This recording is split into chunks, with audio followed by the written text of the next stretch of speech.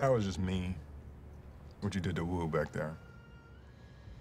Snatched his skirt off. That's just disrespectful.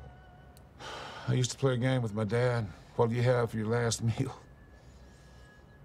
You could do worse than this. Oh. Okay. Um. I used to play a game with my dad called Catch. So I, I would throw the ball and it would just hit the wall because he wasn't there. Don't badmouth your old man.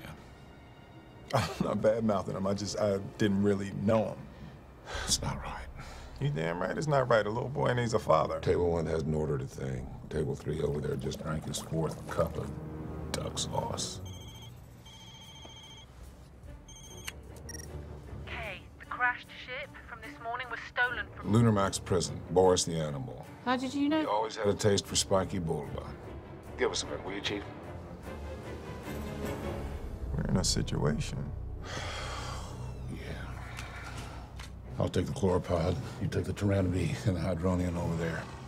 I'll take whoever's in the kitchen and meet you on the street. This is a very confusing time in my life.